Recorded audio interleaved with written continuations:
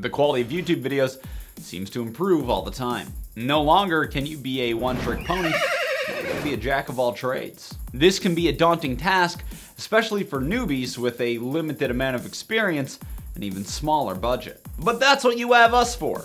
So today we're gonna talk about doing small budget production to make it look just like the pros, right here on VISO Flipside.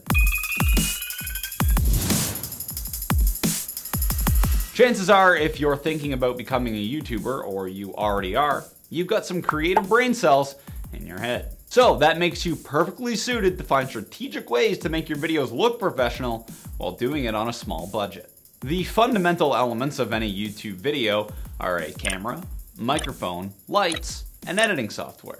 Now, in the professional world, each of these things can cost a small fortune individually. Luckily, technology gets cheaper and more accessible all the time, especially for digital video capture.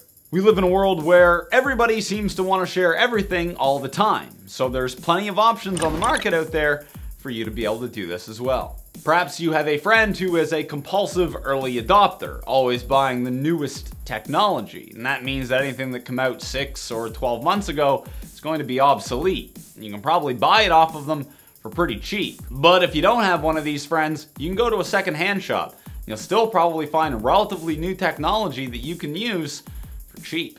In any basic shooting setup, there's what's called three-point lighting. Two lights in front of the subject and one light behind them. However, if you don't have access to lights, then just make sure your shooting space is bright. Use natural light to your advantage. The sun is free. Although at some point I would recommend picking up a basic lighting kit, especially if you want to start lighting things more dramatically. And it doesn't matter if you're a Mac or PC person, because every operating system now comes default with video editing software.